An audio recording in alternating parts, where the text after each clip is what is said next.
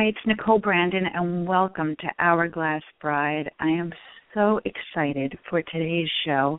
When we created Hourglass Bride, the original intent was to bring the very best keys and tools and techniques to people that were just starting and embarking on their lives, that they were just getting married. This was the first venture into the happily ever after. And as the months went on, we realized we had people that had been married three, four, five times listening to the show, wanting to get this right, this thing that we call love. And as the months went on, then we had people that had been married 25 and 50 years that were looking to deepen their relationship. And then we had people who had been raped or abused that needed to learn to trust love. And as the years have gone by, this show has expanded and extended into truly the meaning of the heart and love at a whole different level and happiness. And there are all kinds of relationships in the world.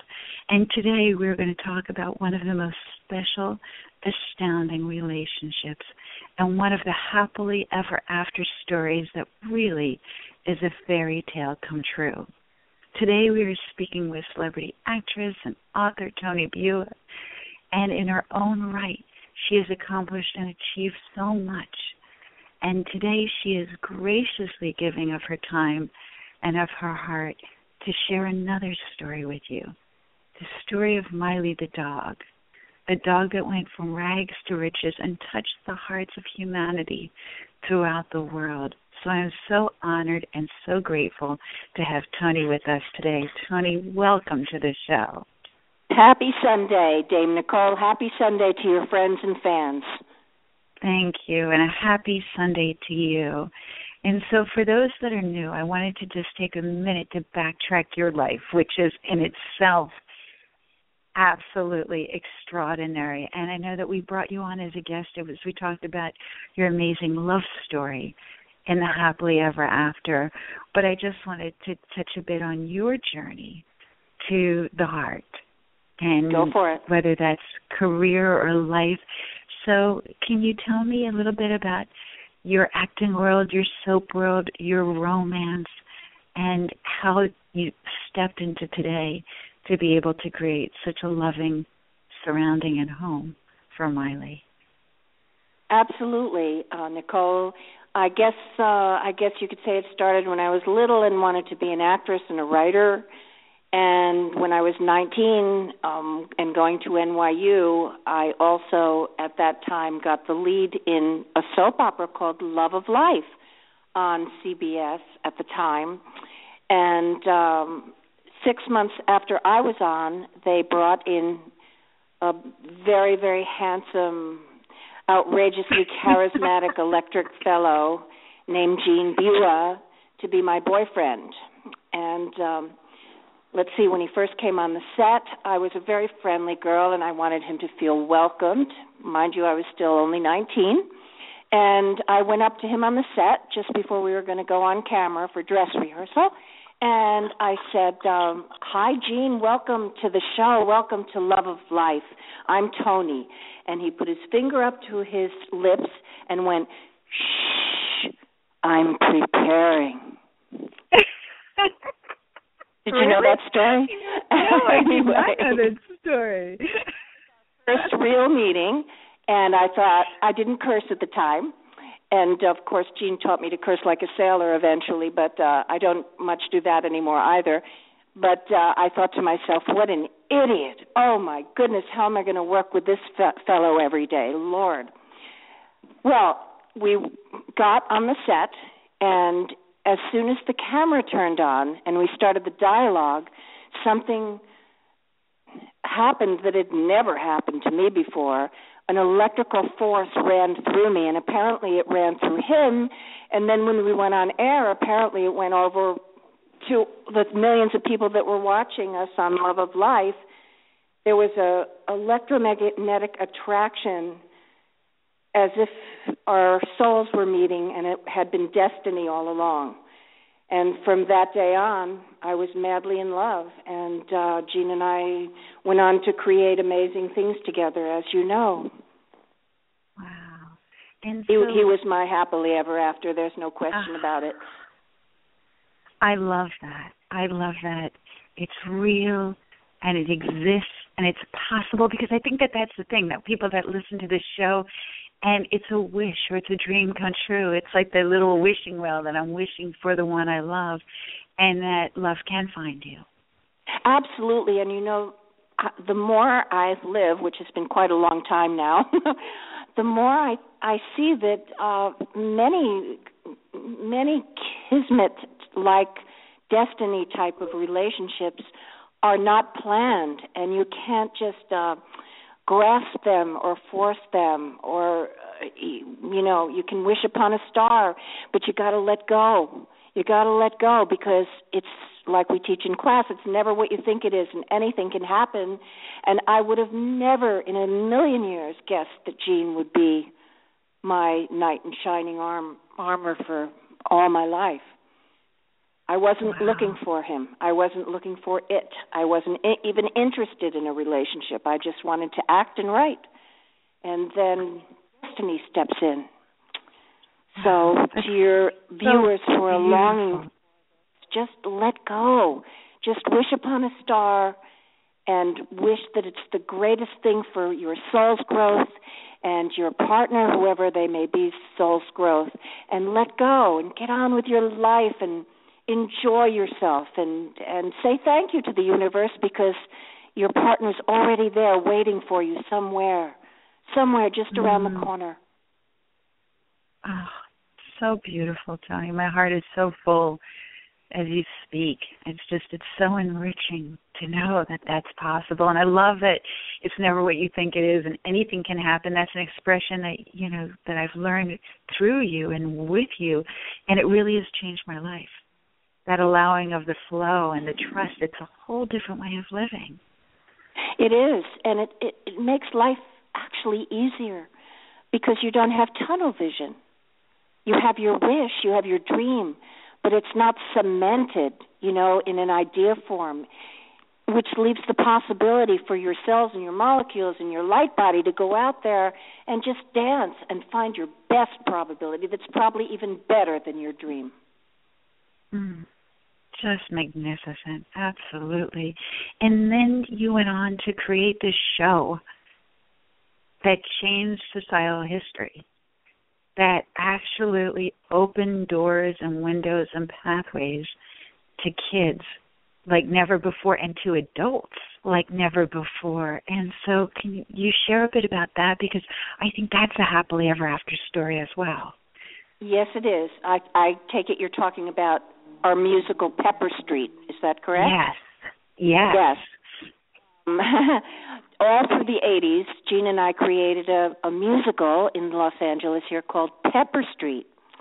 And uh we it was going to be a Christmas show, you know, just uh play Christmas time and and we thought that would be it and for whatever reason in the universe it just caught fire and played for 6 years was optioned for Broadway awarded by the White House and seven mayors and and uh sponsored I think that show sponsored maybe 7,000 at-risk teens. We we would bus them from uh, residential treatment centers and whatnot. And not just teens sometimes adults recovering adults and even prisoners and their guards and um the story which is about a teenage girl named Spirit, Spirit Wills, who feels like she's the only one on Pepper Street, Golden Valley, USA who isn't perfect. Her mother her mother is the town evangelist and very God-fearing and strict with her people and everybody's perfectly behaved in the chapel. And at the beginning of the show, Spirit uh, just loses all hope of ever gaining her mother's love and acceptance and she's a free spirit and she's being squashed and squashed and squashed and she finally takes some quaaludes with some peppermint schnapps and tries to take her own life. And her her body goes into a coma and her spirit travels up through the tunnel of time and she meets her her outrageously uh rebellious young guardian angel Angelo. And they talk God into letting them go back to earth as invisible peeping peeping toms for 7 days to find the human side of the perfect people of Pepper Street. And that's how the adventure begins. And through the adventure spirit sees the imperfections of these wild and crazy people on Pepper Street. They see you see them perfect in the chapel, and they're able to peeping tom behind closed doors and see each one is an absolute, you know, one's uh, bulimic, one's a cross dresser, one's uh, uh, that goes on and on. The per- the perfect couple, or it's just insane. Anyway, through the journey of of of seeing how imperfect these people are and loving them, falling in love with them just as as they are, with their human imperfections. She, of course, falls in love with Angelo, but at the 11th hour, she decides to live because she's learned to love herself through these imperfect people of Pepper Street. And she goes back to life with her mother and the town in Golden Valley, USA. Wow, what a gorgeous story. it's a hero's journey, and it related to the kids, yeah. of course, related to Spirit and some of the younger people in the show. But the adults really, it really hit the adults just as much. And people would come to see Pepper Street like 50 and 100 times. And the way we work, the way Gene taught acting, it's uh, which was cast directly from Acting for Life. It's spontaneous, so the words are the same each night, of course. But just like in class, the behavior and feelings that rise up are allowed to be expressed just as they are under the text. So everybody that came had a new, different, outrageously healing experience every single time. I'm so glad you said that because that was my question. The why, the mega success.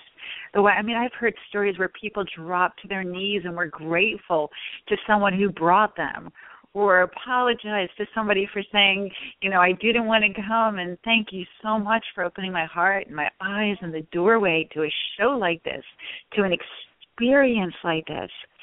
And so, was there a nugget? People were dragged there. They didn't yes. want to come, especially like for even even I'll go to the you know the extreme the prisoners that came with their guards and their arms folded and like you know nothing can touch me were standing and weeping and applauding at the end. And my favorite thing is that strangers would turn to each other. I'm sorry, I get emotional about this. Uh-huh. Would turn to each other and just embrace each other. It was just amazing. It was an amazing, blessed experience, and once again, another fairy tale in our life. Mm. I love that you have chapters and each chapter is a fairy tale. It's sort of like Disney has Cinderella and Sleeping Beauty and one after the other another fairy tale come true, another dream come true and and now you of have course a it's a fairy tale but there's you know like Grimm's fairy tales there's some you know dark sides as well. So not everything is all sunshine and flowers all the time just like life you know? Right. And you know and i love to talk about that. And i guess one of the stories that you know we're talking about today was a story of a life of a dog who had a, a dark dark dark start and i would love you to share because miley's story yes. was a sweeping success i mean there i have friends that live out of the country. I have friends that live across the nation in Philadelphia, New York, and they were posting on their websites, not knowing I knew you, not knowing that I knew Miley. They were posting on their homepages Miley stories. Yeah, I know, isn't it? Isn't it outrageous? It's just remarkable. Talk about a fairy tale. Wow. So for those that I can't imagine there's anybody out there that doesn't know Miley, but we have people listening from all over the world. And so can you share from the beginning the once upon a time there was this dog? I'd love to. Well, first of all, it's on um on the day after Valentine's Day, February 15th is going to be our year anniversary. I cannot believe that Miley and I have a family for almost a year now. I just it seems almost like yesterday. Anyway, a year ago, um Miley was living or a little more than a year ago, uh actually it was Thanksgiving. A year ago Thanksgiving, Miley had grown up. She'd been tossed in a junkyard in South Central Los Angeles. and because she grew up um walking in sewage and uh filth and somehow survived since she was about a 3 month old puppy until she was gosh I guess it must have been they think it had to be at least 9 months for her to become in that condition that uh the rescue went when the rescue went viral. She had parasites she had bacteria she had mange she had very little fur left on her husky body. Um her her paws were swollen like ham hocks. And yet she somehow kept forging on what a spirit that dog has when they found her they mm-hmm. figured she may might have had maybe a week or two left and yet she was still you know there she was still lifting her head and she was found on the junk pile by Eldad of Hope for Paws some good Samaritan must have seen her and uh, called up. I don't know why they waited for nine months or why didn't somebody else call. I do not know. We'll never know that or how she got to the junkyard in the first place. But Eldad and his lucky leash and his helper put the leash around her neck and she was able to even hobble to his car and uh and be healed had several surgeries and took a few months to you know, become whole again as best she could. And she is. And today she's like the most healthy, robust, 70 pound Nordic star. She's snow white with ice blue eyes and is kind to everyone and every animal. I don't know how that happened from being on alert in South Central with the screaming and the gunshots and the traffic that she must have endured and God knows what um but she is wow. just the most beautiful girl. And her rescue eldad's rescue and hope for paws rescue went viral. And when i first saw her on facebook she had i think 5 or 10 million fans that were following her. And at that point there were 500 families from around the world who wanted to adopt her. She touched so many people's hearts and um they selected I think it was four or five families from the Los Angeles area because they wanted to keep their eye on her and they wanted her to be close. So they selected the Los Angeles area and visited I believe four families and I was one of the four families.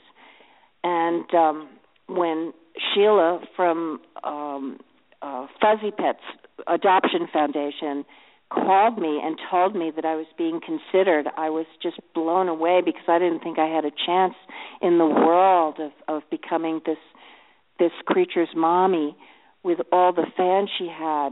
And I said, "Why? Why are you considering me?" And she said, "Because Toni, you wrote directly to Miley. You didn't write to the foundation. You wrote to Miley and you said, "Dear Miley, we've both been through hell and back and we have a second chance at life. Even if you don't choose me to be your mom, you've saved me. You've opened up my heart again because, as you might know, I, I've lost my husband to Parkinson's last year, Gene Bua, and I didn't think I'd ever have a real full life or a full heart again. And just watching your your rescue has just opened me up. I just looked at you and fell in love. So even if you don't choose me, I'll always love you. Love Toni. And apparently this touched Sheila's heart and the foundation's heart. And when they came over to meet me in my home, and I've also had four other huskies. Gene and I had four other huskies, so that probably helped. And the house, which is called Casa Bua, is surrounded by major huge gates and protective area all around it on all four sides. So there's no way a, dog could escape this property. So i guess having four other huskies and having the house and um having written to miley i guess i guess they were really considering me. And then when miley came in and they all came in she, we looked at each other and she wouldn't leave my side. She just would not leave my side. And as Sheila said, it was like family finding each other, long lost family finding each other. And I had to wait another month. it's like adopting a child. They're very, very strict and very careful, which is a wonderful thing. And finally, I got the call that I was to be Miley's mom. and that's my story. And the year has just been just magical with Miley, and I I'm crazy. She's my daughter. I'm crazy about her, and we're inseparable. That's wow. Miley the dog. that's so amazing, Toni. And when she arrived after that month, what was that like as she walked through those gates and walked into the house and through the door and you knew that you now both had this life that you are now beginning together? I my heart was pounding. We had a red carpet from the gates to the front door for her with her name on it. Um I had a lot of my team that that uh, creates with me and and works with me here and they brought the entire Fuzzy Pets Foundation over with Miley. And as we walked up the red carpet and she came through the gate and to the front door, she was very rather demure. And then when she got in the house and Sheila took the leash off her, she went berserk. She jumped up and down and went and danced in circles and wagged her tail and ran from one person to the other as if you know as if every second was christmas for her. And then she came to me and that was it. We were inseparable. She's the happiest girl in the world and that she's made me the happiest girl in the world as well that's so spectacular and i'm so pleased that it worked and i would love you to share a little bit about fuzzy paws as a foundation and then also adopting a pet because so many people don't even realize how a dog, a cat, a, an animal that is in desperate need can actually change and enhance your life. It can change everything. A pet, whether it be a dog, a cat, a bunny. Um, I know my friend has an iguana. There, there.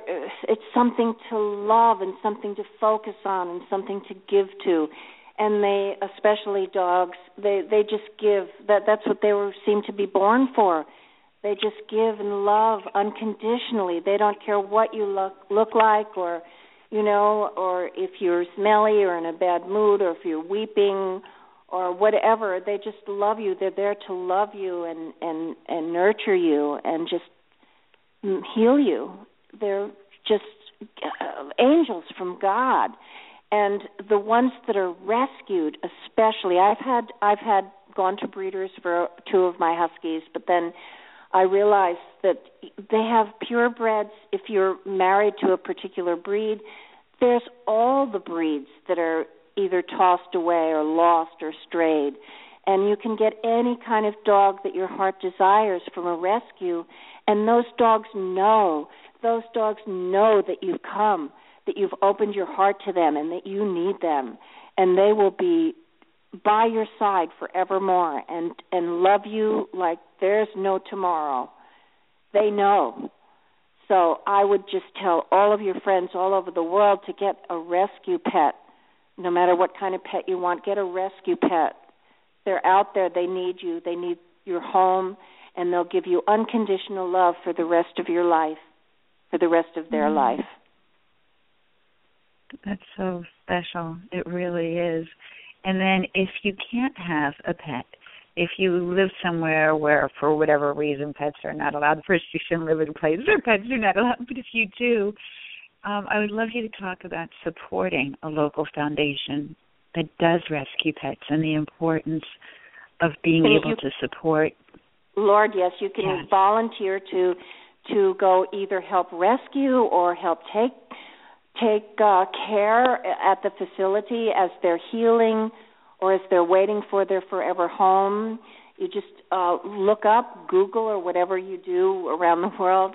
Um, you know, rescue dog, cat, whatever animal you're interested in, and uh, it will guide you to somewhere that's close to you where you can volunteer and where you can pour your love and get love from these wonderful creatures for you know as often as you want or can.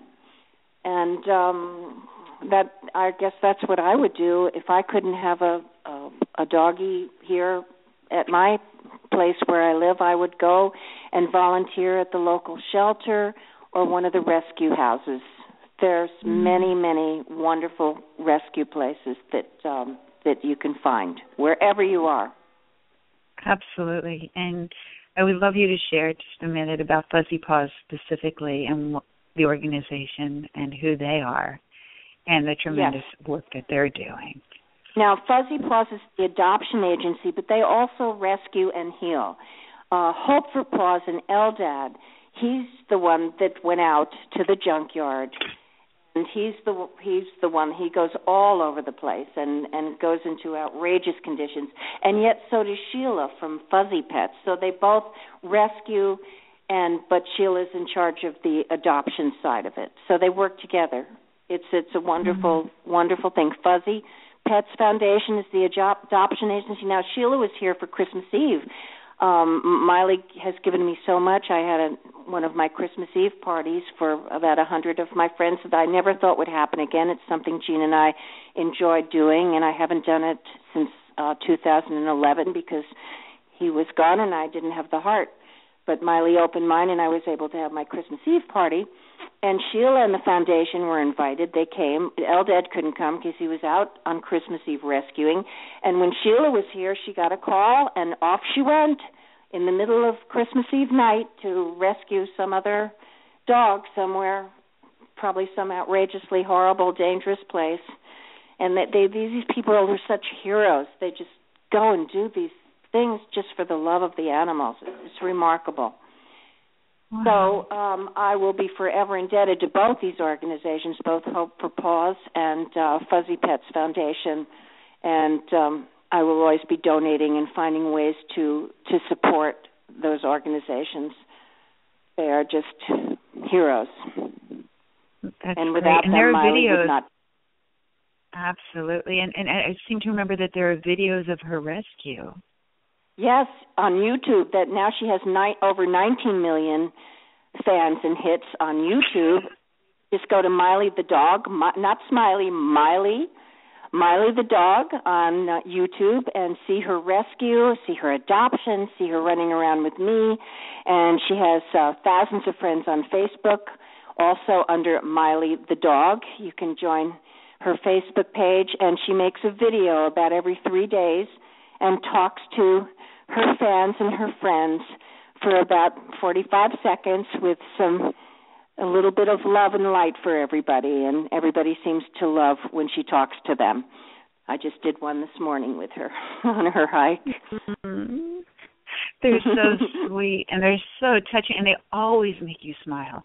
They always make you feel good. They always make you feel better about your day. There's just something first every time you look at them you remember where she came from I don't think there's a way, even a year later, that you can look at the video and say, I don't remember the treachery. I don't remember the pain. I don't remember looking at these pictures, you know, these barren and, and it just the excruciating circumstances.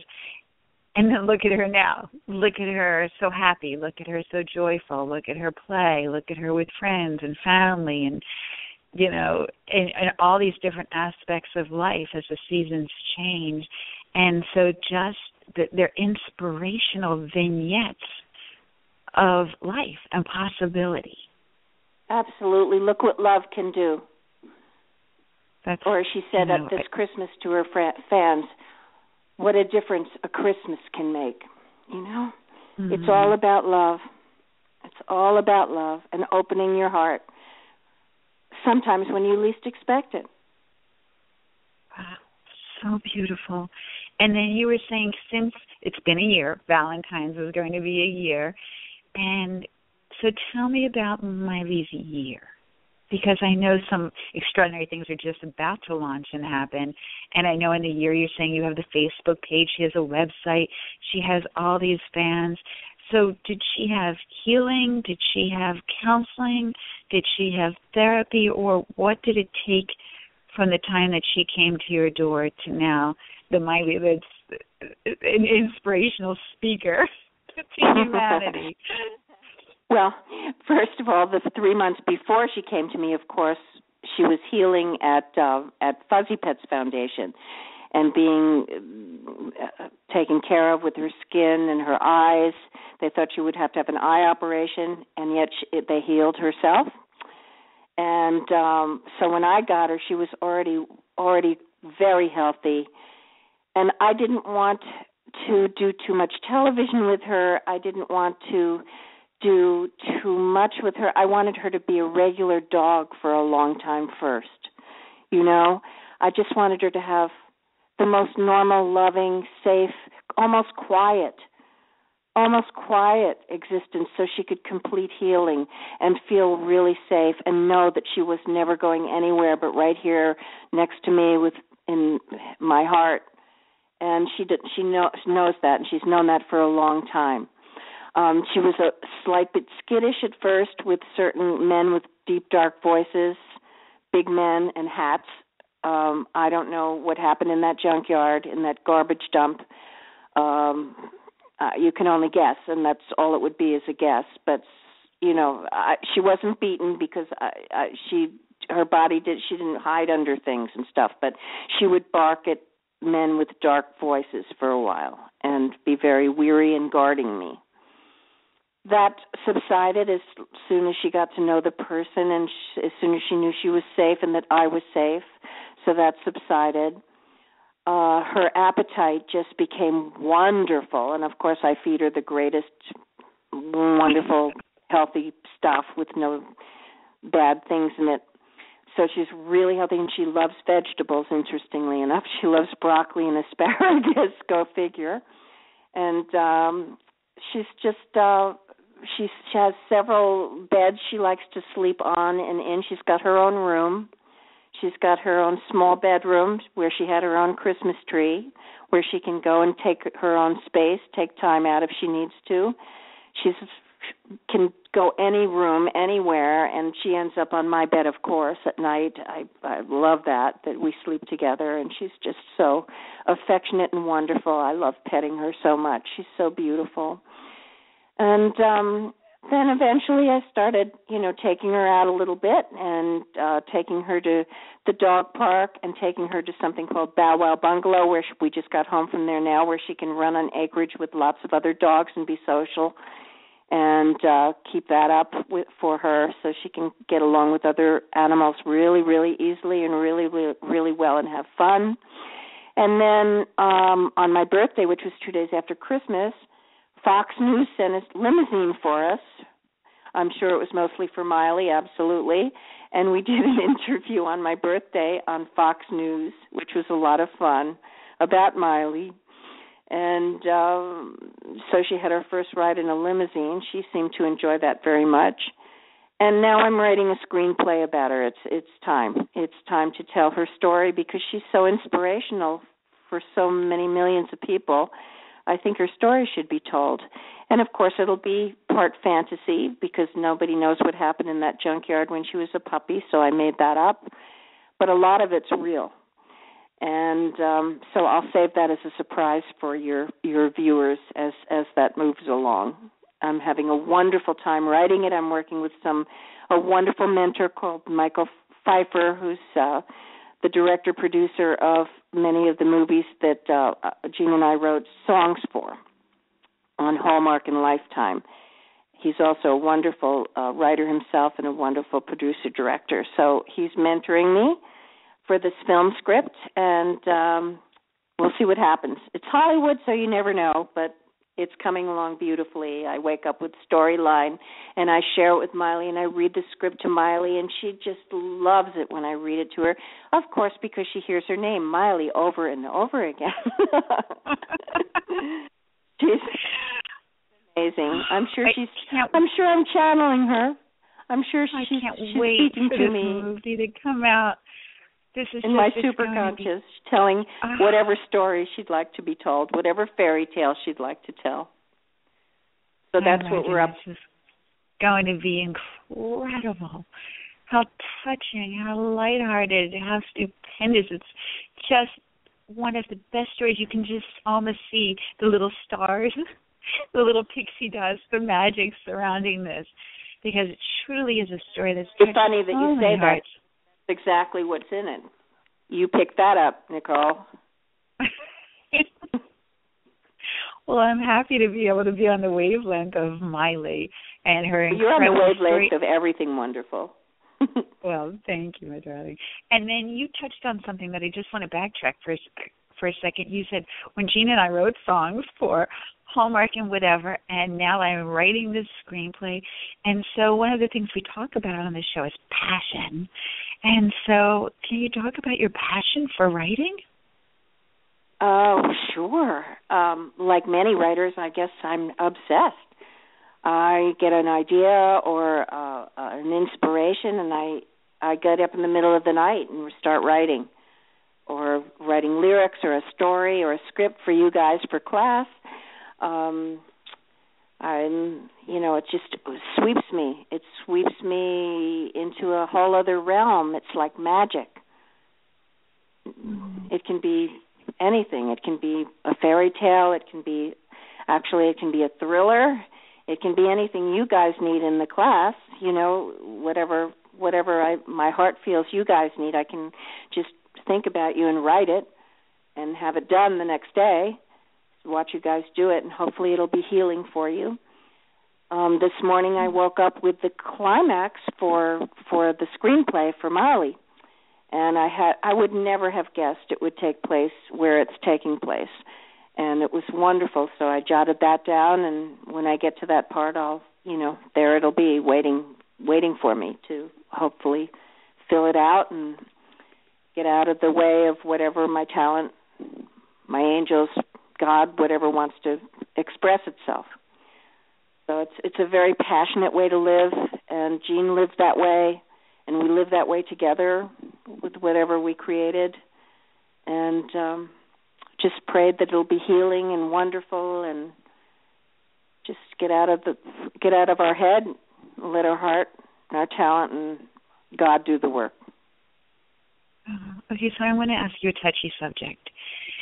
I know that with Gene's Parkinson's and your own health issues, you know, mm-hmm. which we can talk about if you feel comfortable talking about that.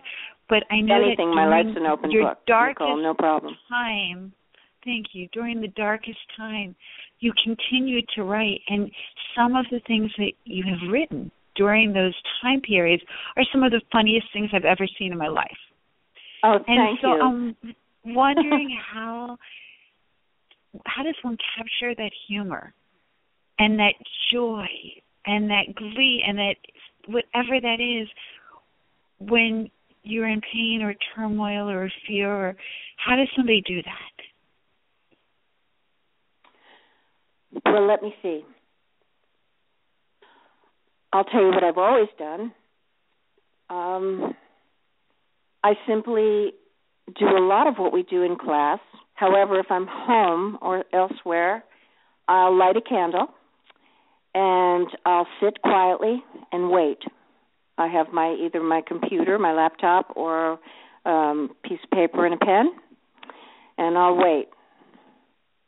If I'm writing a song, I'll usually get the title. I'll write this title down and wait.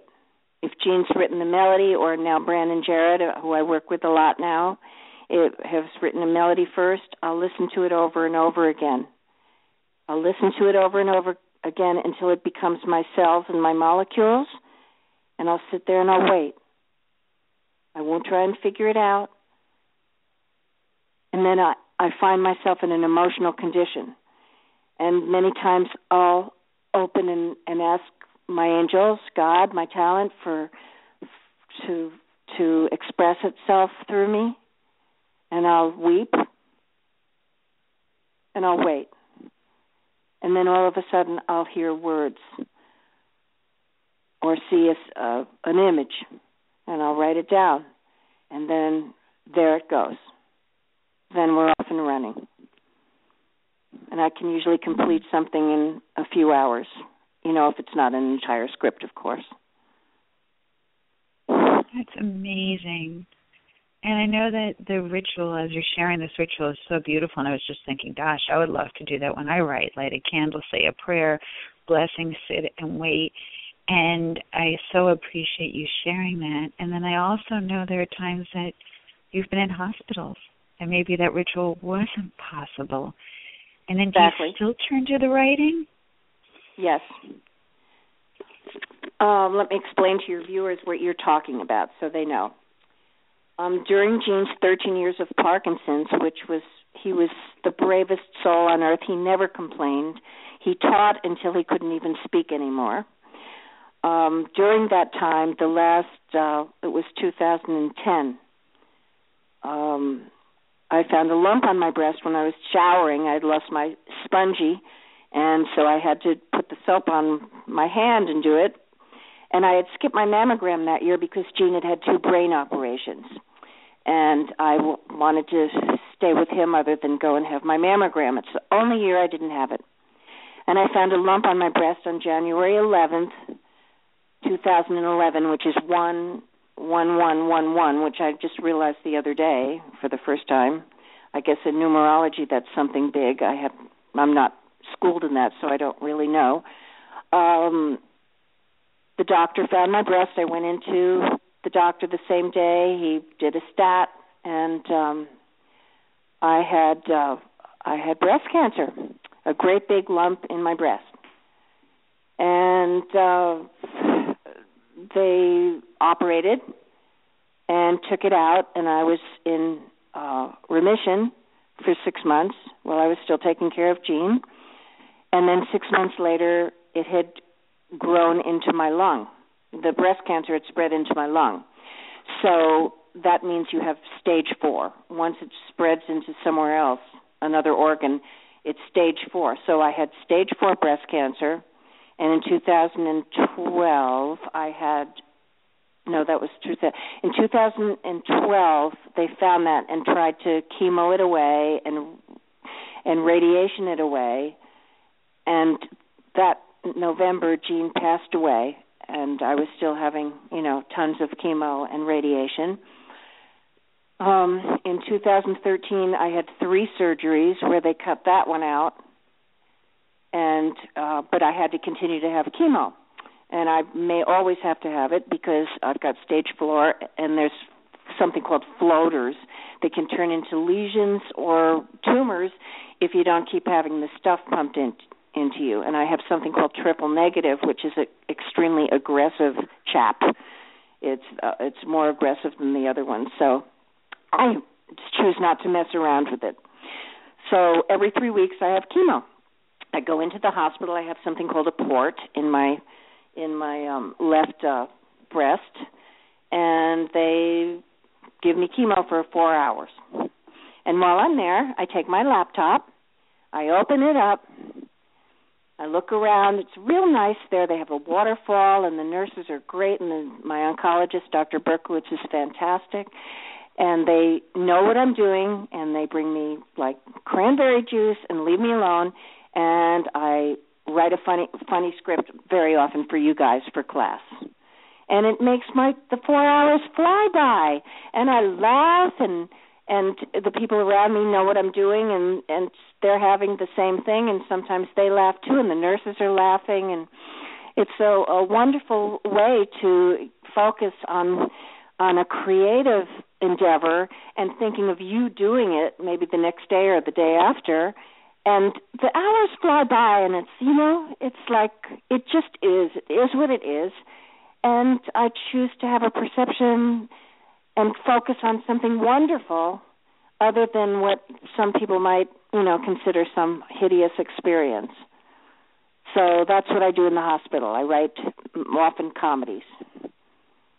Uh-huh. So, can you offer any advice to the listeners out there and to people that are in the audience that when they're in a dark space, how they can either vision their way out of it as you talk about, you know, that it's out there and it's possible, or to find the humor, or to find the task or the thing that you enjoy?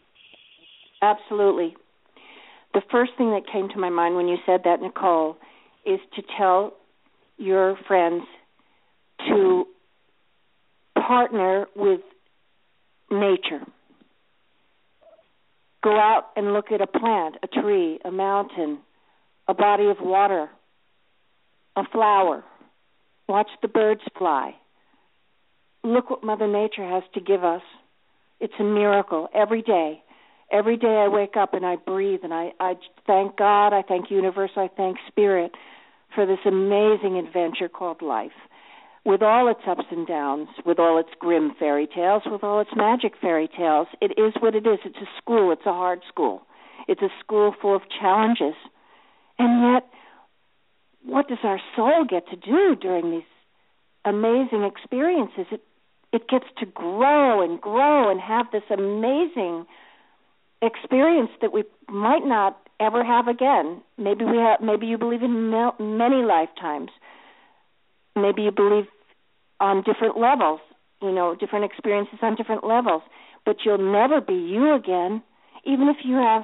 This is what Angelo tells Spirit in Pepper Street. Even if you have a hundred other lifetimes on a thousand of other stars, there'll never be another you the name you are this time, the you you are this time, you have an opportunity, a once in a lifetime opportunity, every single minute, every single day, to see your journey through the eyes of hope, through the eyes of faith, through the eyes of love. You can choose to do that. You don't have to go down the dark tunnel all the time. You can get right out of it and choose to see the light, choose to see the beauty, choose to see the hero's journey, the hero that you are, and go on that path. It's never what you think it is. Anything can happen. Hmm. Oh, Toni, that's just extraordinary. I feel like I'm floating right now. oh, it's so beautiful.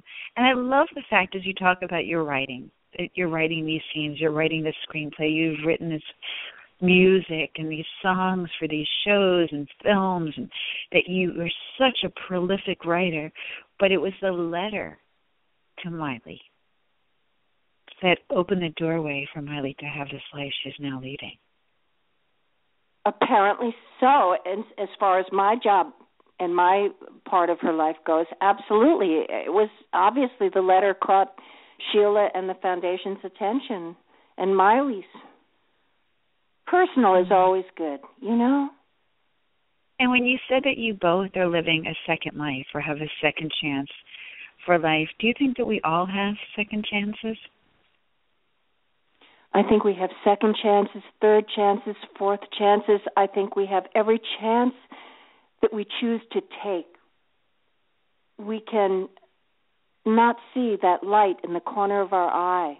You know, we can we can have tunnel vision and just uh go down what our heads are saying like this is this is a te- why me? Why me? This is terrible. Why did this have to happen to me?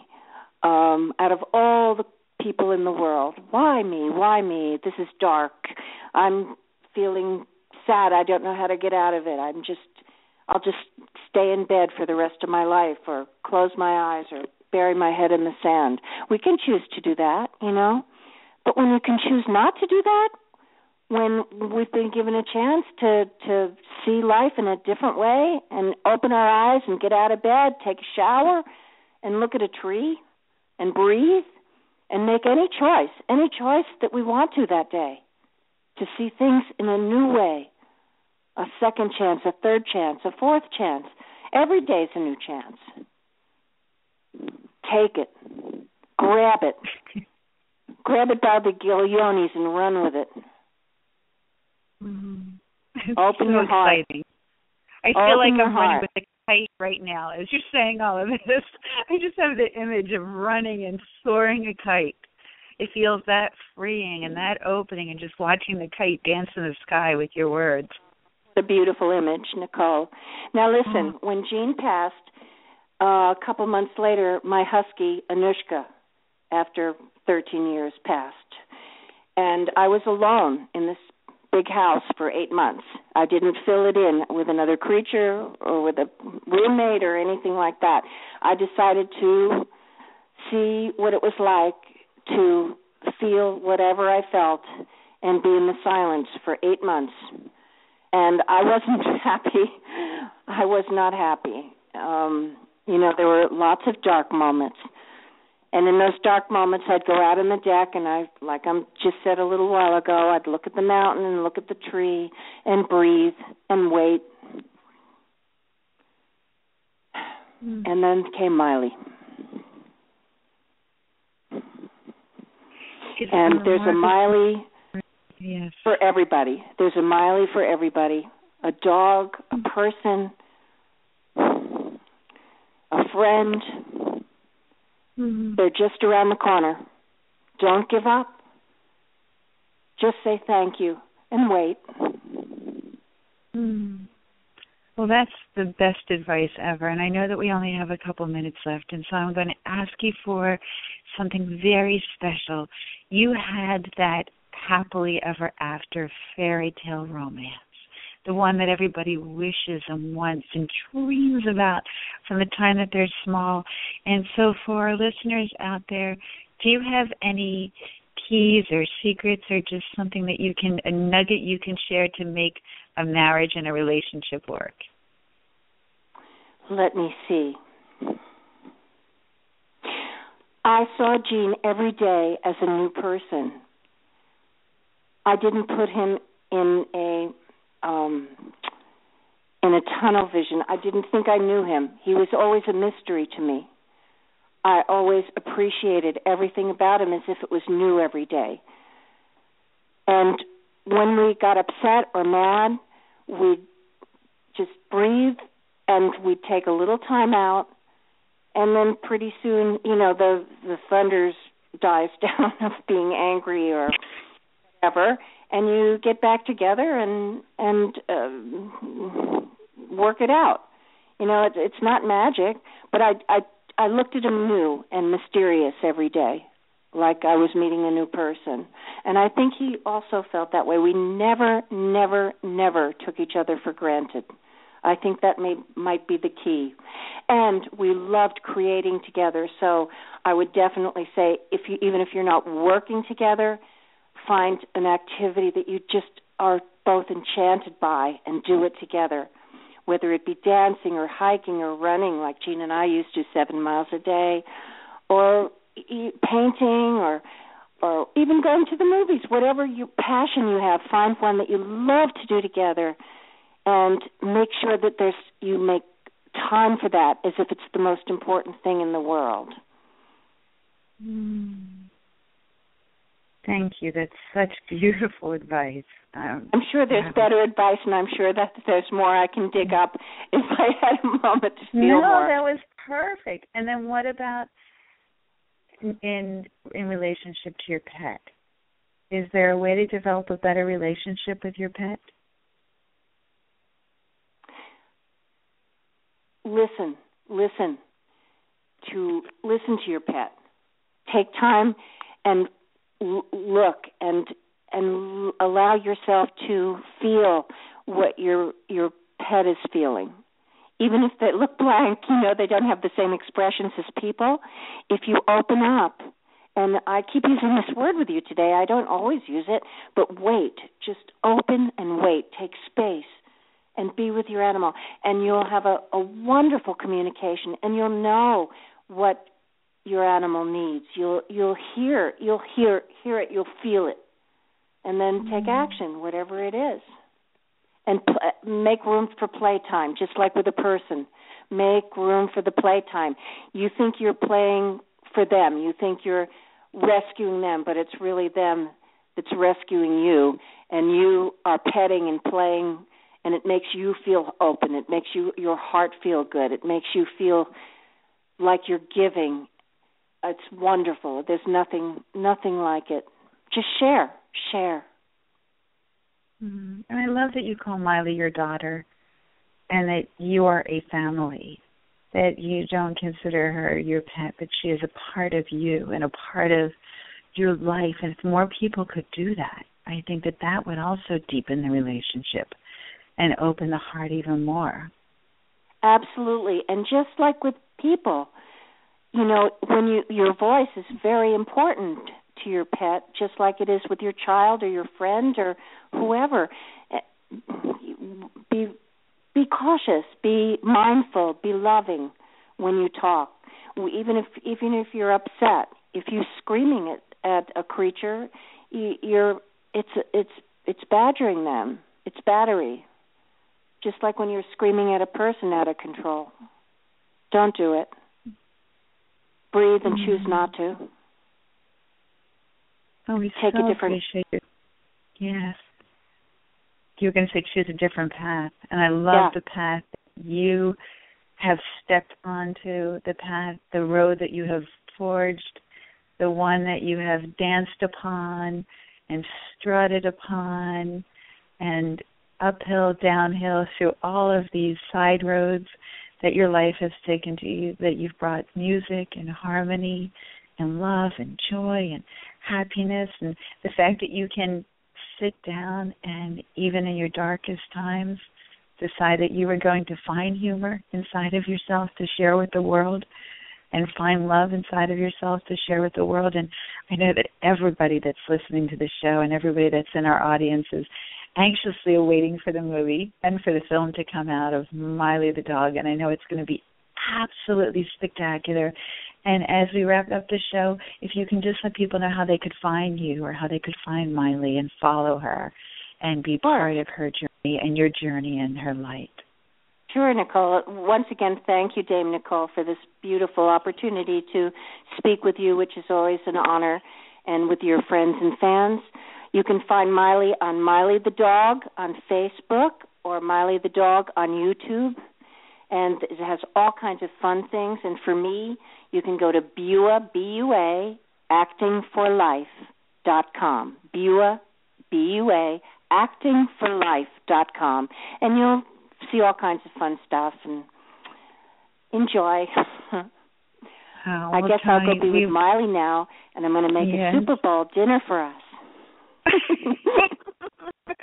well, that sounds special and spectacular, and we wish you health and happiness and joy and love and light. And you are such a blessing in your humanity, your heart, your spirit, your soul, and all you do for everyone. You are such an inspiration, as is Miley. And we thank you both for being on the show today and uh, wish you. Welcome. You're so welcome to me and Miley and Gene Bua on Wings. I send love and light to you and your fans. Oh, well, we look forward to having you on again and love to you. Wow, what a beautiful guest. So we are wishing you all, Toni Bua, Miley Bua, Gene Bua, and myself, Nicole Brandon, we're wishing you happily ever after, knowing that each and every one of your dreams can come true.